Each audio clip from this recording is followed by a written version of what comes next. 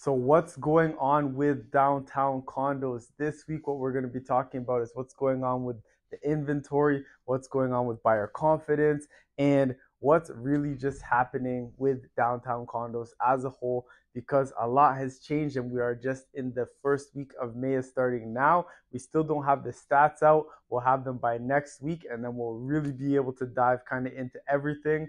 I'm Bawanka with the Compass team and Royal LePage signature. So the first thing that we do want to talk about is buyer confidence. It's through the roof right now. Um, the Bank of Canada held rates twice in a row, and all we're seeing is a lot of offer dates.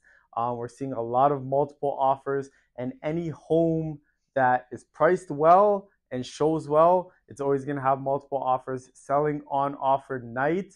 Um, I mean, higher priced homes, uh, condos in, in particular, over a million, those ones are moving a little bit slower. But anything that's the first time buyer market, whether it's going to be a one bedroom, a one plus one, those are all moving very quickly.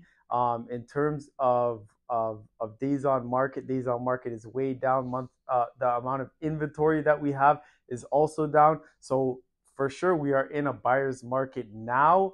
Um, people who were interested in waiting for the bottom, the bottom has come, the bottom has gone, and that's where we are now. So if you are a buyer, there are still deals that you can get out there compared to where they were at the peak of the market, but prepare to be going up against other people. It is going to be competitive. It's, it's something that you really like or if it's something that you love, and you're just going to have to know what your budget is um, firm offers are going to be able to help you.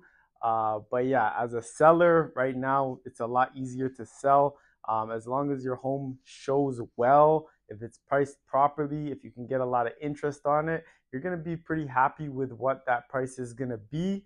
So stay tuned for next week because next week we're going to be diving deep into the numbers because the stats will be out. But until then, I hope you have a great week. Enjoy the sun. I hope there's less rain and I'll see you next week.